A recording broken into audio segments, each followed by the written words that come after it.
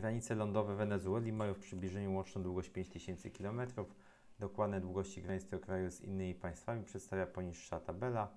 Oblicz błąd bezwzględny i błąd procentowy e, przybliżonej długości granic lądowych Wenezueli.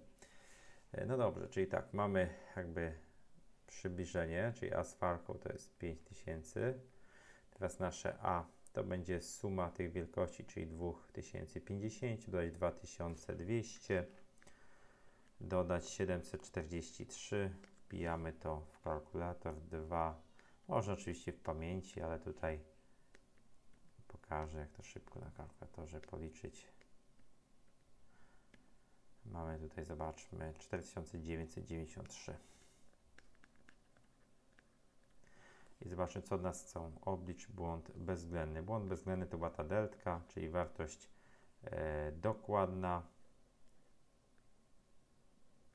wartość przybliżona w module, czyli wychodzi 7.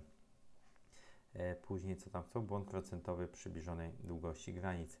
Błąd procentowy to było to ta deltka w procentach, czyli delta duża przez wartość dokładną w module razy 100 procent, no to lecimy. E, błąd bezwzględny to jest 7 przez wartość dokładną, czyli przez 4, 9, 9, 3 e, i razy 100%. Mamy 0,14%. Błąd względny wyrażony w procentach to jest 0,14%.